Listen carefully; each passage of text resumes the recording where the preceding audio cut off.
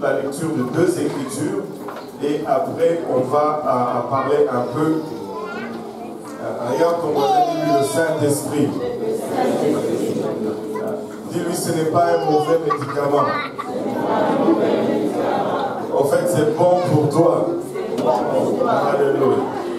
Regardez ceci. On va lire ce verset et, on, va essayer de le regarder un peu dans un autre contexte. Ésaïe 55, euh, euh, versets 10 et 11. Ésaïe 55, 10 et 11. Et je ne parle pas de la maison d'édition de ta Bible. Je dis vraiment le livre d'Ésaïe 55. Alléluia. Ésaïe 55, verset 10 et 11. Si vous l'avez trouvé, dites Amen. Amen. Si vous le cherchez encore, dites J'arrive. Alléluia. Bon, si vous n'êtes pas encore arrivé, arrivez à l'écran. Amen. Alléluia. Comme la pluie et la neige descendent des cieux et ne retournent pas sans avoir arrosé, fécondé la terre et fait germer les plantes sans avoir donné de la semence au semeur, du pain à celui qui mange. Ainsi en est-il de ma parole qui sort de ma bouche.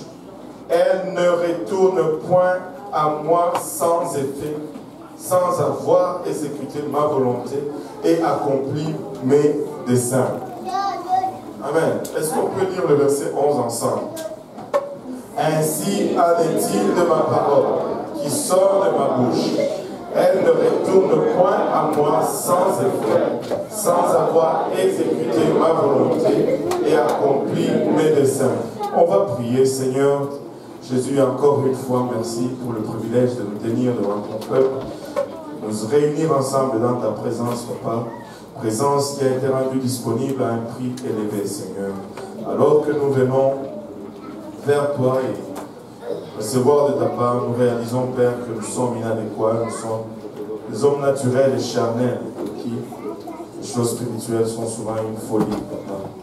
De nous-mêmes, nous ne pouvons les comprendre, Père. C'est pourquoi nous avons besoin de ton aide. Aide-nous maintenant, nous te prions, ouais, moi, ouais, tes serviteurs, ouais, ton peuple, afin que cette parole, puisse trouver une place dans le cœur de ta produire le fruit et que ce fruit, Papa, germe et nous conduise dans la vie éternelle. Papa, prenons ce moment également pour prendre autorité sur toute activité spirituelle, Papa, qui s'opposerait, Papa, à la réception de cette parole dans le nom de Jésus-Christ. Nous venons le lier et le précipiter dans les lieux arides. Nous venons rabaisser, Seigneur, tout raisonnement, toute philosophie humaine qui s'oppose contre la connaissance de qui tu es, Seigneur, en ce moment. Nous prenons autorité dessus, Père, et nous exaltons la connaissance de, son, de ton nom en Seigneur, dans le nom de Jésus. Nous disons tous au nom de Jésus. Au nom de Jésus. Alléluia. Si nous pouvons juste déposer nos Bibles, battre nos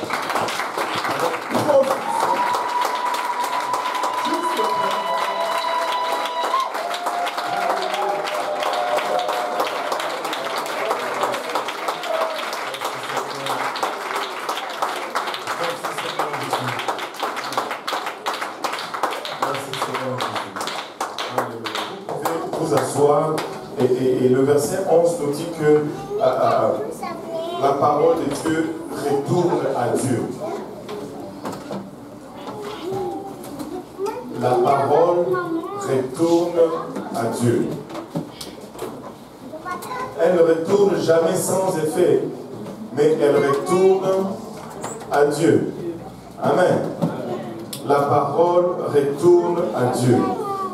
Mains. pour un moment sur ce sujet, la parole retourne à Dieu.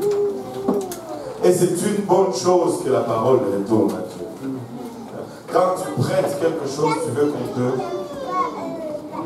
la retourne, n'est-ce pas?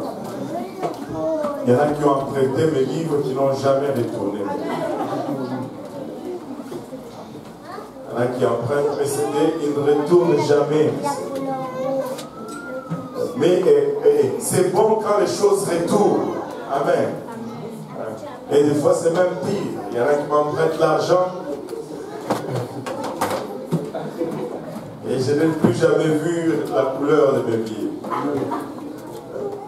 Il faut que ça retour. Amen. Alléluia. Qui est-ce que, à qui est-ce qu'on a déjà emprunté qui n'a jamais, et que ce n'est jamais retourné?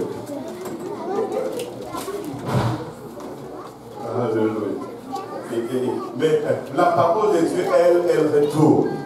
Et c'est bien qu'elle retourne. Et, c'est bon pour nous que cette parole retourne. Et laissez-moi vous conduire dans un chemin et, vous allez comprendre mon enthousiasme sur le fait que la parole retourne. Vous savez, une fois, nous étions proches de Dieu. Quand Dieu nous avait créés, euh, nous étions proches. Euh, j'ai oublié d'envoyer les enfants. Euh, l'école du dimanche, j'ai bien des parents de compte. Là, les enseignants étaient contents, mais là, ils sont en train de dire, mais taisez-vous les enfants. Est-ce que les enseignants peuvent descendre avec les enfants? La, soeur Julie s'est portée volontaire. Euh, comme ça, les enfants vont descendre et, ils vont se faire enseigner. Alléluia. Gloire au nom de Jésus.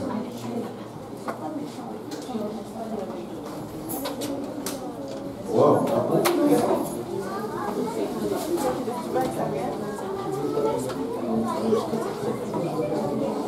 Là, tu vois les parents soulagés, contents.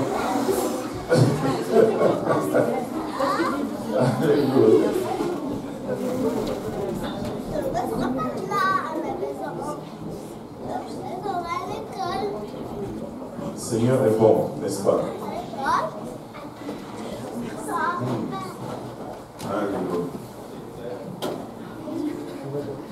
je ne sais pas pour vous, mais pour moi, la sœur Jolie, c'est une des meilleures enseignantes. Amen. Parce que c'est ma femme.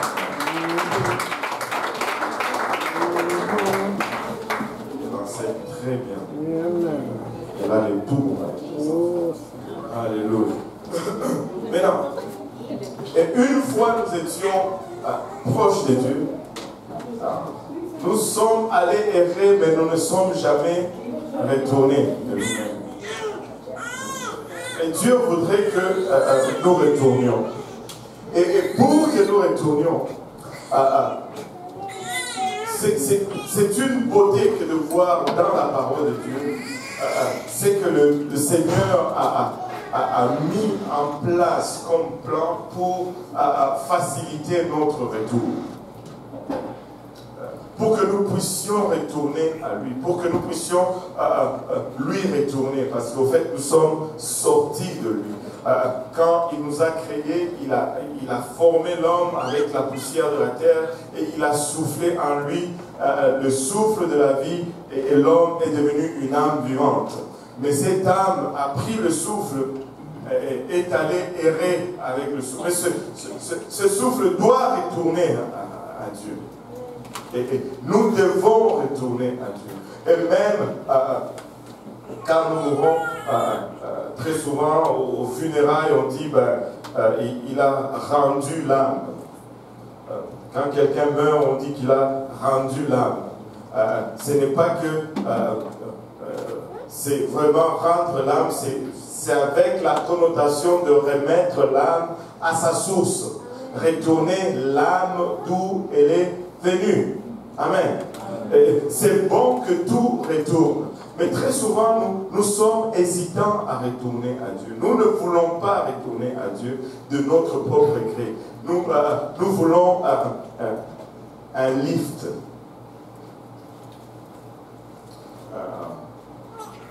Retourner à Dieu, ça va nous coûter.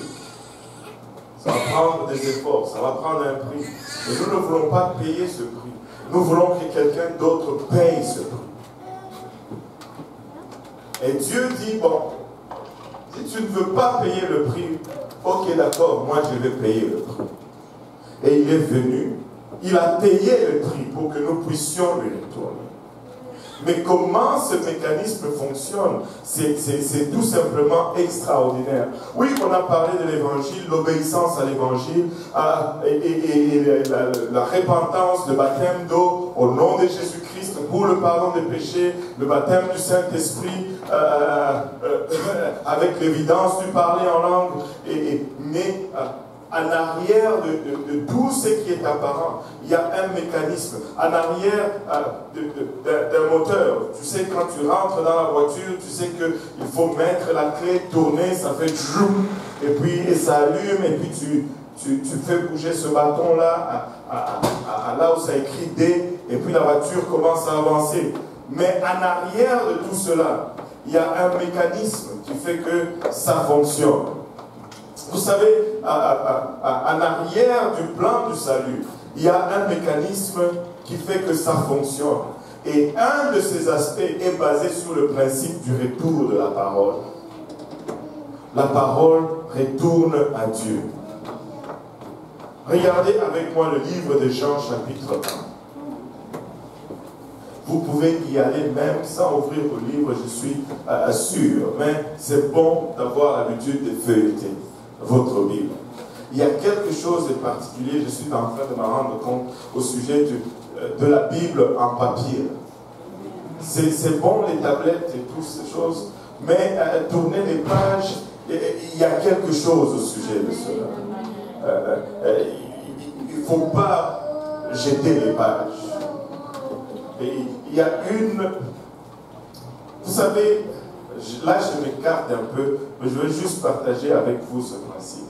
C'est bon ces moteurs de recherche, e et tout, mais ça nous prive de quelque chose de précieux. Vous savez, aujourd'hui, si je cherche la parole, je peux juste écrire dans l'histoire de la parole tous les versets qui ont référence à la parole sortent. Mais il y a une fois où il n'y avait pas d'histoire. Et si tu commençais à chercher ce verset, il fallait que tu regardes ici, il fallait que tu regardes là, il fallait que tu regardes ici. Et avant d'arriver à ce que tu cherchais, tu as eu le temps de voir beaucoup d'autres choses. Mais là, on est privé de tout cela aujourd'hui.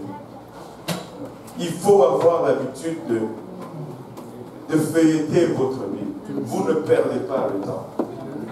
Vous ne perdez pas le temps. Euh, au contraire, vous investissez euh, euh, de la meilleure façon votre temps. Regardez Jean 1, 1. Il dit, au commencement était la parole. Au commencement était cette parole qui ne retourne jamais vide au Seigneur. Elle était au commencement. Et la parole était avec Dieu. Et la parole était Dieu. Elle était au commencement avec Dieu et toutes choses ont été faites par elle. Et rien de ce qui a été fait n'a été fait sans elle. En elle était la vie et ainsi de suite. Et, si nous allons au verset 11, la Bible nous dit, elle est venue chez les siens et les siens ne l'ont point reçue. Mais à tous ceux qui l'ont reçue, à ceux qui croient en son nom, elle a donné le pouvoir de devenir enfants de Dieu, lesquels sont nés non du sang, ni de la volonté de la chair, ni de la volonté de l'homme, mais de Dieu. Et la parole, verset 14, a été faite chair. Elle a habité parmi pleine de grâce et de vérité. Et nous avons contemplé sa gloire, une gloire comme la gloire du Fils unique du Père. Cette parole qui était au commencement avec Dieu, cette parole qui ne retourne jamais vide à Dieu, elle, elle a été faite chair et elle est venue parmi nous. Maintenant, si nous croyons dans le principe qu'elle ne retourne jamais à Dieu sans avoir accompli, c'est à quoi elle a été envoyée nous allons croire que lorsqu'elle est venue parmi nous aussi, elle ne va jamais retourner à Dieu sans avoir accompli ce à quoi elle a été envoyée. Amen. Au commencement était la parole. Elle est venue parmi nous. Euh, euh, pourquoi est-ce qu'elle a été envoyée parmi nous dans Jean 11 Pour faire de nous, encore une fois, des fils de Dieu. Pour faire de nous encore une fois les enfants de Dieu. La Bible nous dit à ceux qui l'ont reçu, à ceux qui croient à son nom, elle a donné le pouvoir de devenir enfants de Dieu. lesquels sont nés? Euh, et le principe est très simple. Si elle est venue parmi nous et que nous recevons cette parole en nous, quand elle va se mettre en retour vers le Père, elle va nous amener avec elle. Si nous nous accrochons à cette parole, nous devons nous accrocher à la parole de Dieu. Elle a une destination précise. Elle a une direction claire. Elle est sortie, elle est venue à nous. Maintenant, elle est en train de retourner à celui qui l'a envoyé. Et si nous suivons sa direction, si nous la suivons pas à pas, nous allons nous retrouver là avec celui qui l'a envoyé, c'est-à-dire Dieu lui-même, notre Créateur. Amen.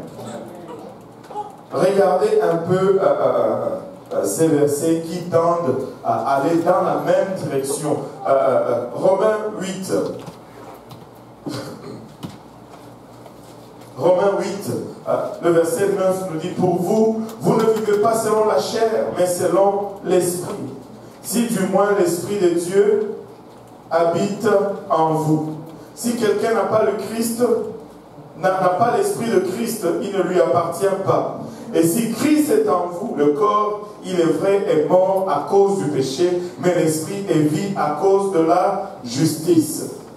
Ayez l'esprit de celui qui a ressuscité Jésus d'entre les morts, habite en vous. Celui qui a ressuscité Christ d'entre les morts rendra aussi la vie à vos corps mortels par son esprit qui habite en vous. Regardez, quand nous prêchons l'évangile, nous disons que l'évangile consiste en la repentance le baptême d'eau et le baptême du Saint-Esprit. Et quand nous venons au baptême du Saint-Esprit, nous disons que le baptême du Saint-Esprit consiste à la réception de l'Esprit de Dieu, c'est-à-dire l'Esprit de Dieu vient et commence à habiter en nous. Et comment nous savons que l'Esprit de Dieu vient et choisit d'habiter en nous, c'est lorsque nous parlons en langue, alléluia, comme cet esprit nous donne de nous exprimer. Mais si cet esprit habite en nous, nous commençons à appartenir à Christ.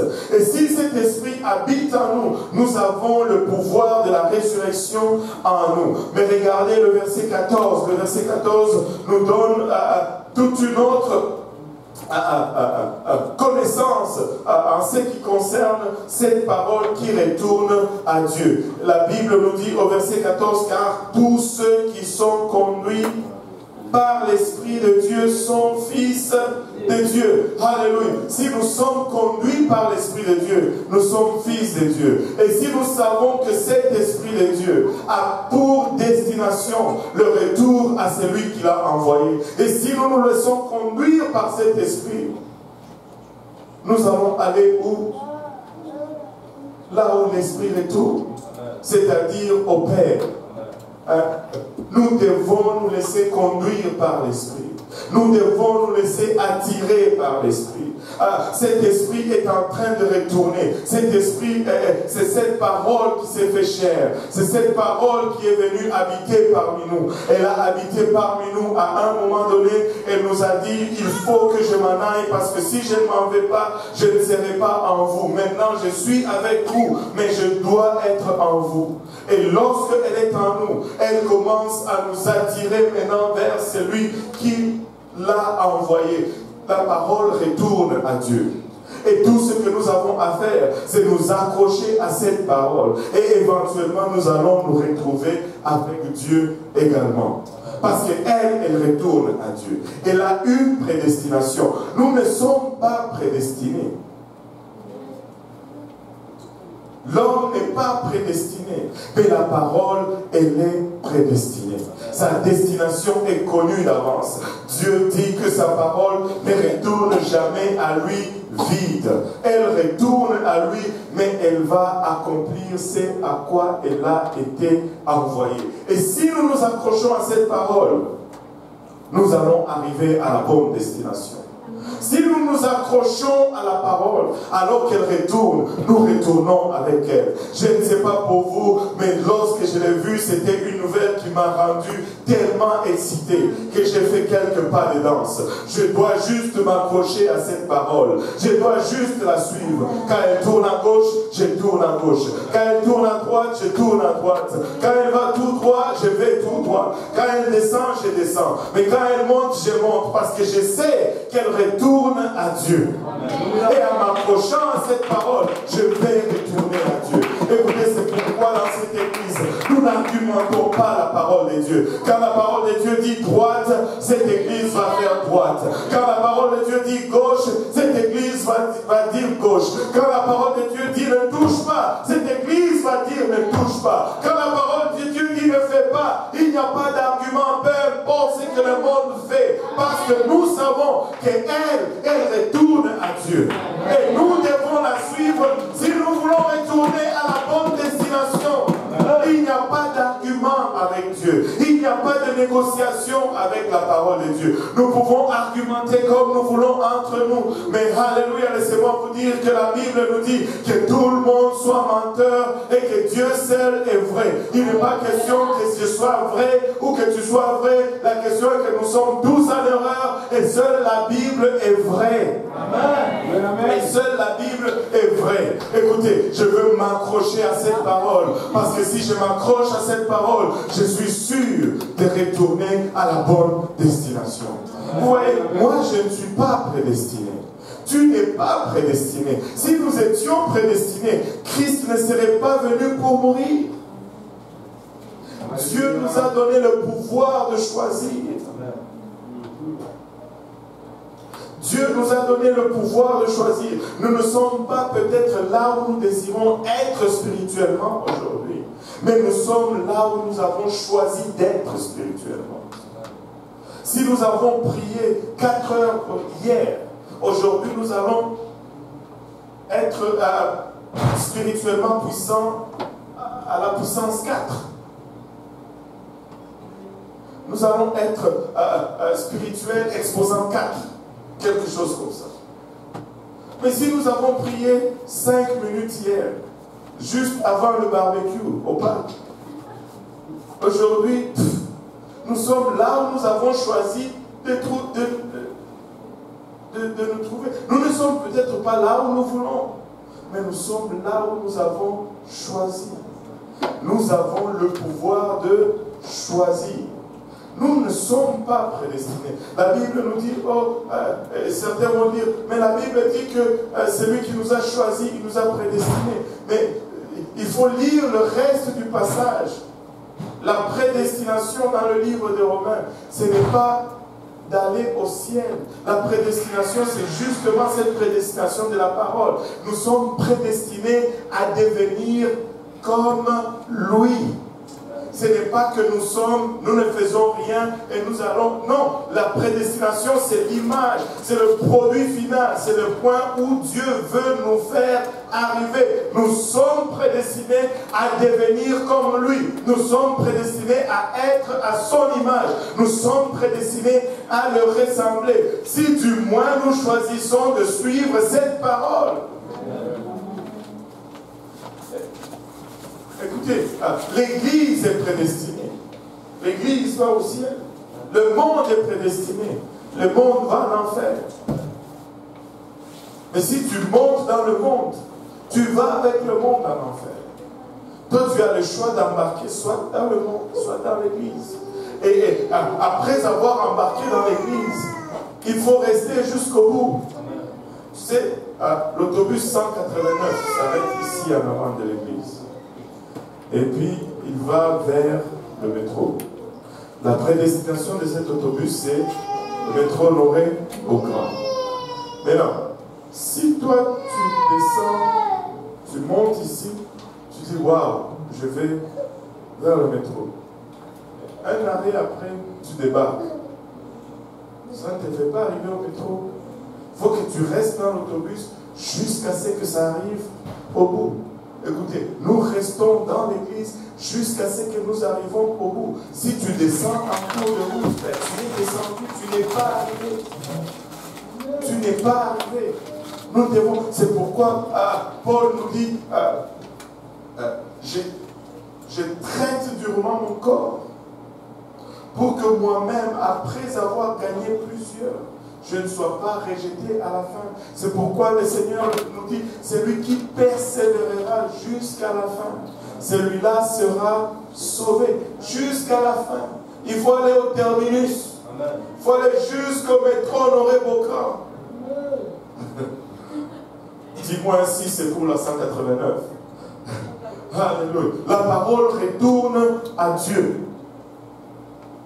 Elle retourne à Dieu. Et si nous nous laissons conduire par cette parole, nous allons nous aussi éventuellement retourner à Dieu. Amen. Mais ce retour est un processus. Ce retour ne se fait pas juste comme ça. Ah, ah, ce retour se fait pas à pas. Quand cette parole vient, quand le Saint-Esprit vient et il habite, il demeure en nous. Et laissez-moi vous dire, le Saint-Esprit est disponible pour tout le monde. La Bible nous dit, quiconque croit que celui qui veut vienne, que celui qui a soif boive. C'est disponible pour tout le monde. Amen. Parce que Dieu veut que tout le monde soit sauvé. Dieu désire que tout le monde retourne à lui. C'est pourquoi il rend cet esprit disponible. C'est pourquoi il rend cette parole disponible pour nous tous. Amen. Eh, regardez euh, euh, cette parole euh, qui est venue en nous. Et quand elle vient et habite en nous, on l'appelle l'Esprit Saint. regardez Galates 5, 16. et des fois, tu ne fais pas attention à à certains mots jusqu'à ce que Dieu te montre quelque chose. Regardez euh, 45, verset 16. Il dit, je dis donc, marchez selon, marchez selon, et nous savons que cet esprit est en train de marcher vers celui qui l'a envoyé. Et si nous marchons selon cet esprit, nous allons aller à celui qui l'a envoyé et vous n'accomplirez pas le désir de la chair. Regardez, car la chair a des désirs contraires à ceux de l'esprit.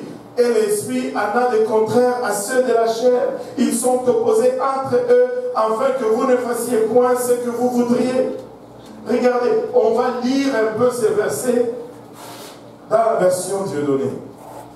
Avez-vous vu cette version Dieu donné c'est la version qui a été donnée par Dieu. Alléluia. Il dit, je dis donc, marchez selon l'esprit et vous n'accomplirez pas, et vous, vous, euh, vous ne marcherez pas dans la direction de la chair, car la chair a une direction contraire à celui de l'esprit. Et l'esprit en a euh, une contraire de celui de la chair. Ils sont opposés entre eux afin que vous n'alliez pas où vous voudrez.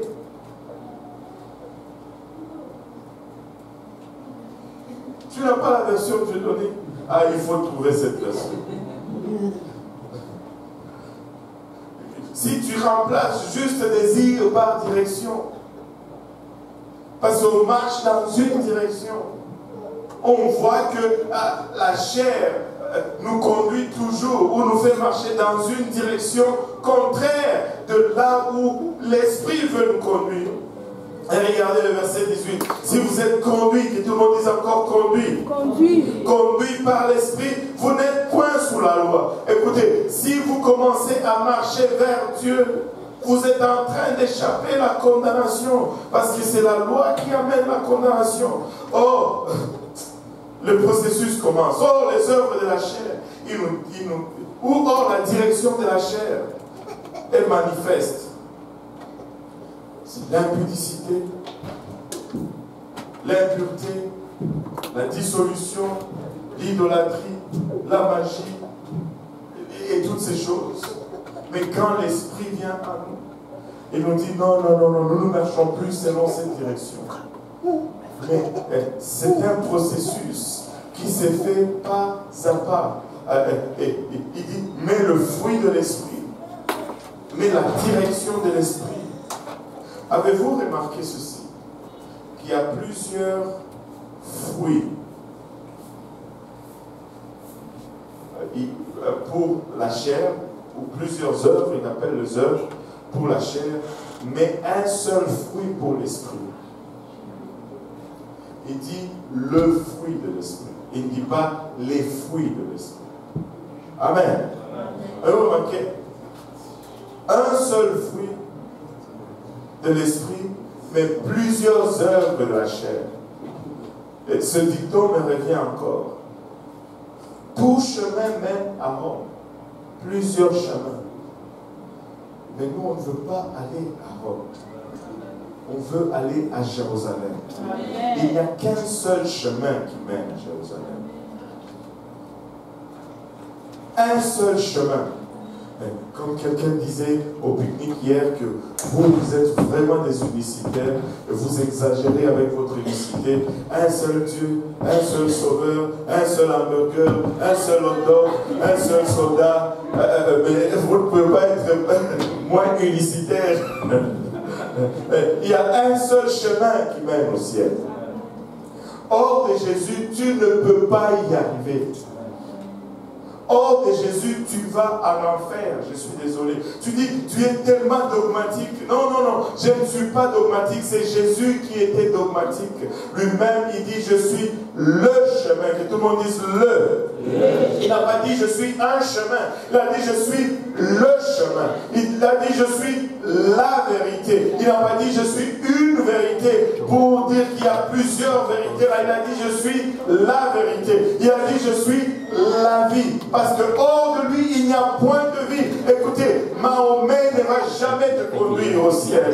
Euh, Bouddha ne va jamais te conduire au ciel. Confucius ne va jamais t'amener au ciel. Il n'y a que Jésus et lui seul, et lui seul exclut tous les autres. Tous les autres. Tous les autres. Il dit les œuvres de la chair, blablabla. Mais le fruit de l'esprit, c'est l'amour. Ah, voyez-vous, quand tu reçois le Saint-Esprit, il faut maintenant commencer à marcher selon l'esprit. C'est très important de marcher selon l'esprit. Et, le premier pas dans ce fruit, ou le premier aspect de ce fruit, c'est l'amour. Écoutez, si nous n'avons pas l'amour, nous n'avons pas y arriver. Si nous n'avons pas l'amour, nous n'allons pas y arriver. Premièrement, nous devons aimer Dieu. Qu'est-ce que tu fais? Je marche selon l'Esprit. Je suis conduit par l'Esprit. Tu dois aimer Dieu. Si tu n'aimes pas Dieu, tu vas rétrograder. On ne sert pas Dieu par la crainte. Tu sais, il y en a qui viennent à Dieu parce qu'ils ont peur d'aller en enfer. Et tu devrais avoir peur d'aller en enfer parce que l'enfer, ce n'est pas un endroit agréable. Il y en a même certains chrétiens qui disent, oh, l'enfer, c'est juste une fiction. Quand tu meurs, euh, c'est fini, tu, n'es plus là. Et laissez-moi vous dire ceci, la Bible dit de tout le contraire de cela. Nous pouvons essayer de nous consoler en disant cela, mais l'enfer est un lieu réel. L'enfer est un lieu de tourment éternel. Il y a des gens qui brûlent continuellement en enfer. Tu dis, mais quel est ce Dieu cruel qui va faire cela? Non, non, Dieu n'a jamais été cruel. Dieu a fait l'enfer pour les anges. Mais les hommes ont choisi d'y aller, au point où même Dieu a été obligé d'élargir l'enfer à cause du choix de l'homme. Tu dois aimer Dieu. La crainte de l'enfer à lui seul ne va jamais t'amener à marcher pour Dieu jusqu'au bout. Parce que la peur, on s'y habitue. Et puis ça passe. Mais quand on tombe en amour, quand on tombe en amour, c'est juste extraordinaire. Ne me regardez pas comme si vous ne savez pas. Certains d'entre vous, euh, on a des problèmes à vous réorienter. Pourquoi? Parce que Cupidon vous a...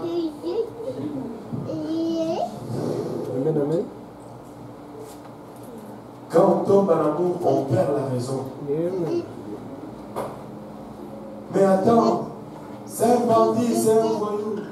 Oui, je On dit que l'amour est aveugle. Vraiment aveugle.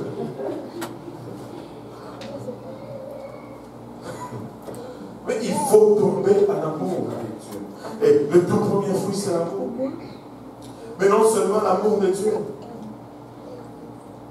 mais l'amour aussi de ceux que Dieu aime. Tu ne peux pas y arriver juste en aimant Dieu seulement et en détestant sa créature.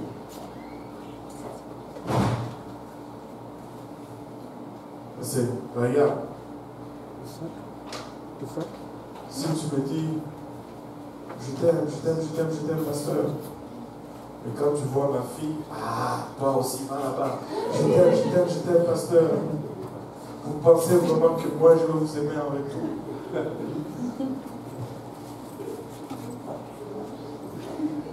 Amen. On ne peut pas dire on aime Dieu, mais quand on voit les gens, on est complètement insensible. C'est de l'hypocrisie. Est-ce que c'est facile d'aimer les gens? Non, c'est pas facile. C'est pourquoi des fois certains commencent à aimer les animaux. Mais nous aimons Dieu. Regardez, regardez ceci. À trois fois, le Seigneur parle à Pierre. Dit Pierre, m'aimes-tu? Dis oui Seigneur, tu sais que je t'aime. Paix mes brebis. Seigneur, m'aimes-tu? Oui Seigneur. Tu sais que je t'aime. Et nous savons, nous sommes des spécialistes en grec, nous savons agapé, le film, le tout machin. Mais il y a un autre message là-dedans. Le Seigneur n'a jamais demandé à Pierre s'il aimait ses brebis de demander de paître de brebis et d'aimer le Seigneur. On paie les brebis parce qu'on aime le Seigneur. Pas parce qu'on aime les brebis. Les brebis vont faire exprès pour que tu ne les aimes pas.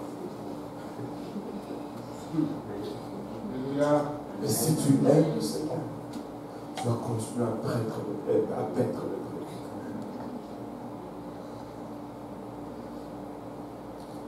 Le tout premier fruit, c'est l'amour. C'est nous en avons besoin. Nous devons aimer Dieu avec tout, mais nous devons aussi aimer le monde pour lequel Dieu est bon. Il n'y a pas un seul pécheur, si mauvais soit-il, pour lequel Jésus-Christ n'est pas allé à la croix.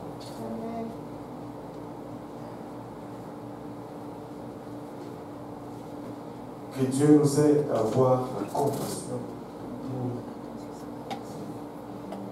les gens. Vous savez, quand cette question de l'amour est, est réglée en nous, il y a une joie qui vient avec. Tu n'as rien, mais tu as un sourire ineffaçable sur le visage. Euh, euh, il demande ceci, mais tu es quand même dans la joie. Vous savez pourquoi les, les apôtres étaient dans la joie même lorsqu'ils étaient chicotés pour le Seigneur? Parce qu'ils avaient l'amour. On les, chicote. Et là, ils sortent de là tout joyeux, le livre des actes. Parce qu'on les a euh, chicotés pour le Seigneur. Mais toi, qu'on te regarde seulement croche, Wow! On ne t'a même pas touché encore.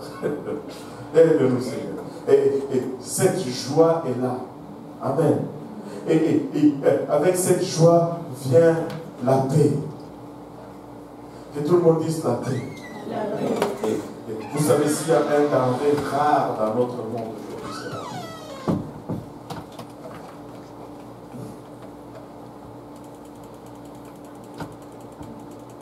Vous savez, aimer Dieu va vous amener à avoir la vraie paix. Va vous amener à une place où tous vos soucis sont mis entre les mains de Dieu. Vous lui faites confiance avec tout. Et, nous pouvons parler longtemps hein, sur le prochain. C'est une longue marche pour la suite. Et l'esprit conduit, pas après pas, pas après pas. La patience. Qui est patient ici? Oh. Vous avez été impatient de lever vos Un jeu de mots. Et écoutez, comment est-ce que je suis Je sais que je suis patient. C'est quand je suis mis à l'épreuve. Regardez, euh, quelqu'un priait comme ça. Il dit, Seigneur, donne-moi la patience, mais donne-la moi tout de suite.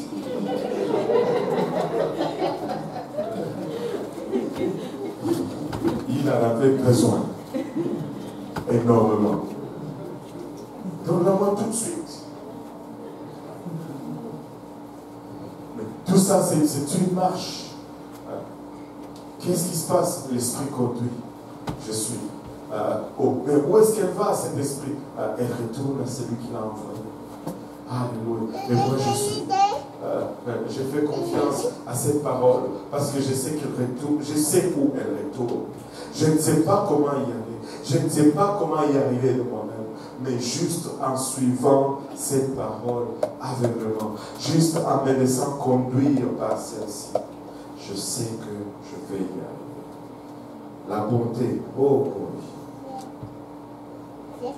La bonté, cette capacité à être juste bon. Il y en a qui l'ont tout simplement. Ils sont juste bons. Des fois, je, prie, Seigneur, euh, aide-moi, euh, que je sois comme euh, Marjorie. Elle est toujours, elle est bonne. Donne-moi un cœur comme ça. Mais, mais je dois lutter. Je dois prier, je dois jeûner. Des fois, Seigneur, aide-moi. Alléluia. S'il y a un des caractères que j'aime et, que j'insiste toujours là-dessus, c'est la bénédiction. Parce que ça, ça manque énormément. Et je ne parle pas du monde, je parle de l'Église. Amen.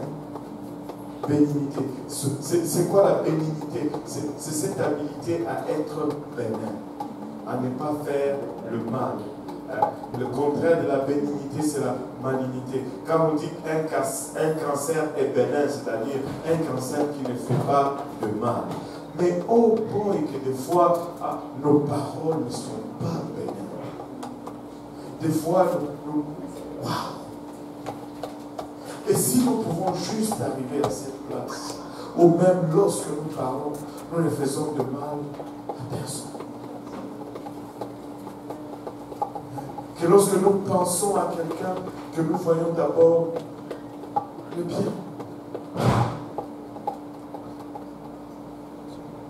Alléluia. Vous me lâchez là tout. Là, je sais que c'est là que je dois demeurer. Je sais que c'est là que je dois prêcher. Ce silence est très éloquent.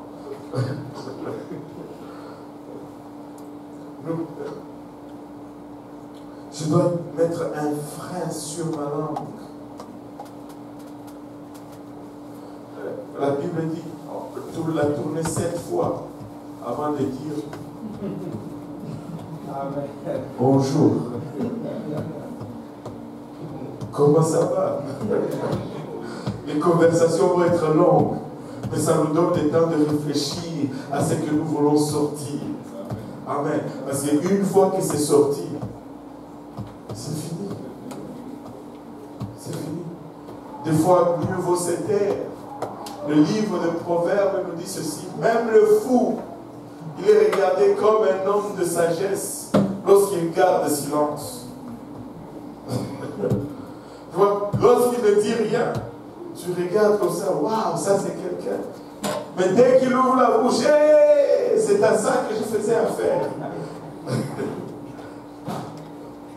Donc, garder silence de fois, c'est juste très bien la bénité. Écoutez, très souvent, nous parlons mal et, ce n'est pas bien. Ce n'est pas bénin. La fidélité. Oh boy. la fidélité. Oh, Madame aide-nous avec celui-ci.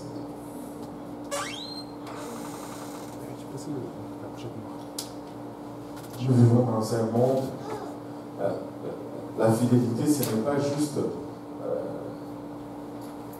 c'est pas juste le fait d'être là chaque jour. Nous vivons dans un monde où euh, c'est l'intérêt personnel qui prime sur presque toute chose. Tu peux être là chaque jour, mais si tu es là juste pour ton intérêt, ça, ce n'est pas la fidélité. Ce n'est pas la fidélité. Et la douceur, ça fait partie du fruit. Ah, ton voisin ça fait partie du fruit. La, douceur. La, prochaine fois qu'il y a une, euh, un échange de paroles, il y a un fruit, c'est la douceur. La, tempérance. Qu'est-ce que tu racontes, prédicateur? Ah, Je me laisse conduire par la dit amour. Mais pourquoi? Parce que je veux aller là où elle va. Euh, elle est venue, et là, elle retourne. Mais moi, je veux aller là. Et je dois la suivre, cette parole. Si elle va à gauche, je vais à gauche. Si elle va à droite, je vais à droite.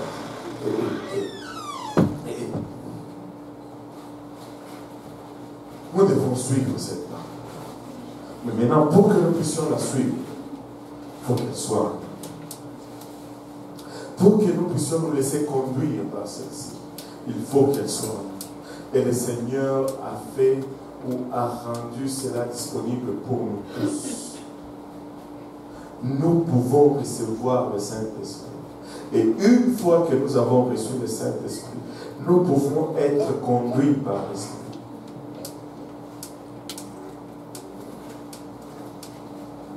Nous pouvons être conduits par l'Esprit.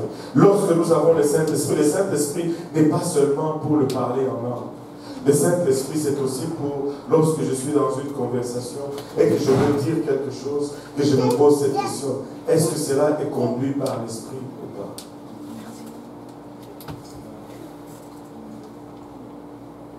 Et nous pouvons recevoir le Saint-Esprit aujourd'hui en ces lieux. Car l'Esprit de Dieu est disponible. Amen. Je veux me laisser conduire. En nous levant tous ensemble.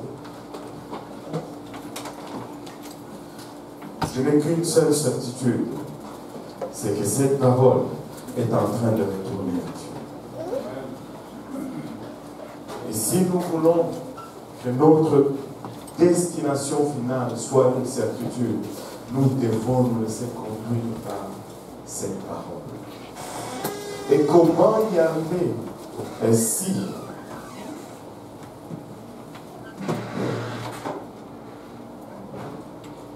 je n'ai pas encore cet esprit en moi.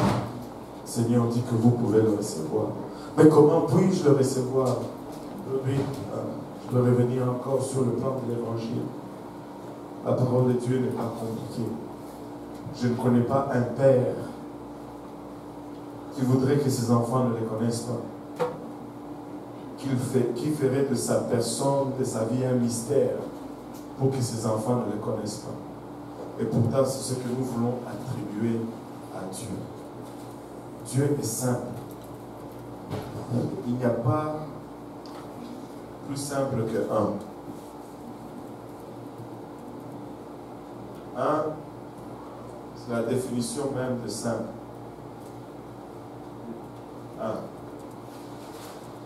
Dieu est un. Il est mort à la croix C'est Dieu qui est un il s'est fait chair. Il est venu, il est mort à la croix. Pour que nous puissions retourner à lui. Et c'est très simple de retourner à lui. Nous devons aussi mourir comme il est mort. Nous devons être aussi ensevelis comme lui a été enseveli.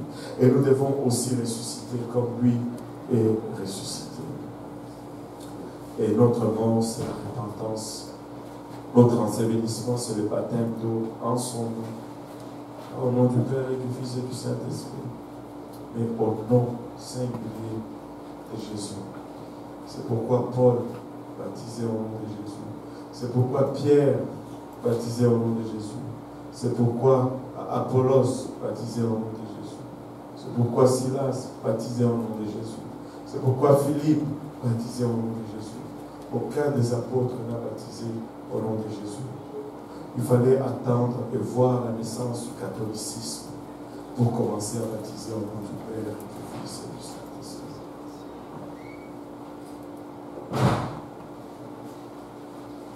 Une des déclarations de Jean-Paul, je ne sais pas pourquoi je, je vais pas. Une des déclarations de, Jean-Paul, Jean-Paul, était celle-ci. Il dit, il dit que toutes les églises qui baptisent au nom du Père, du Fils et du Saint-Esprit, ce sont nos filles. Elles doivent retourner à la maison. Et en cela, il disait vrai.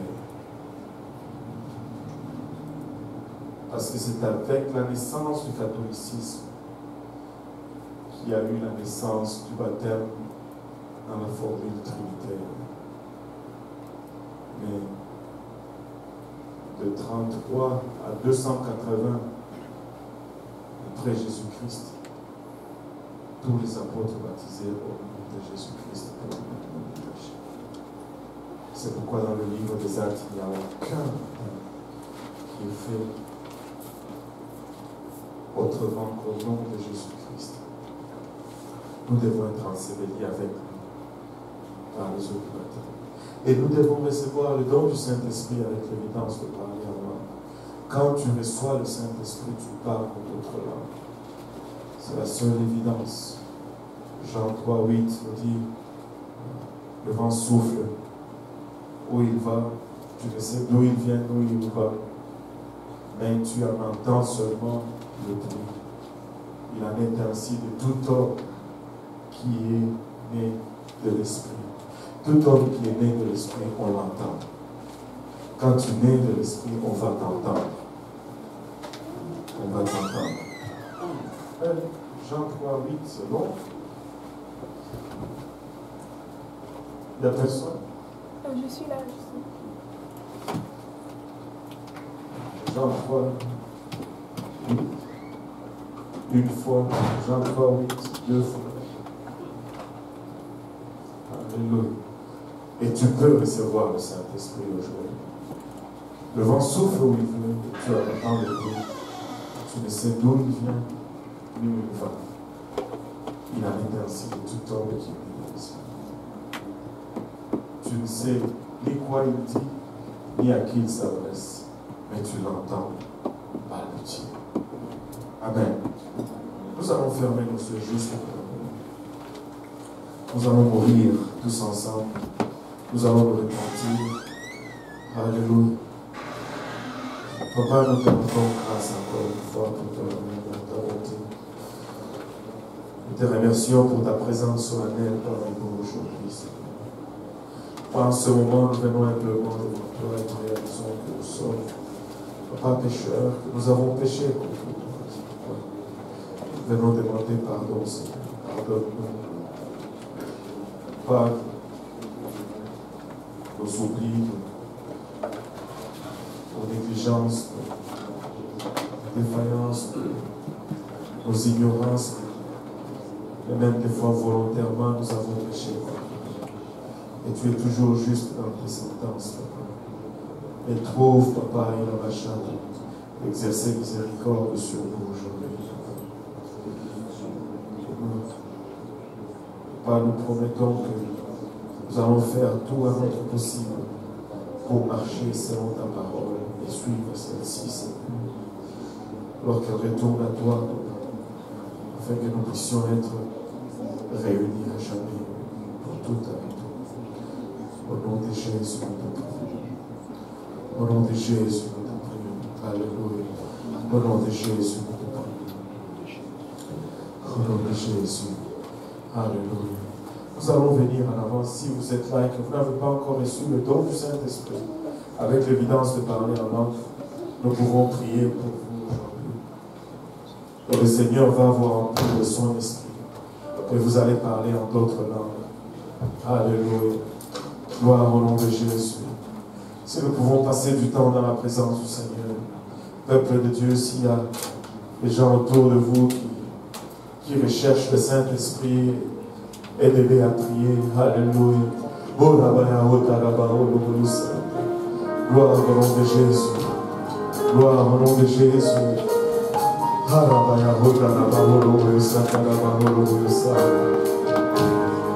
Gloire à ton Saint-Nom, Seigneur. Alléluia, Seigneur.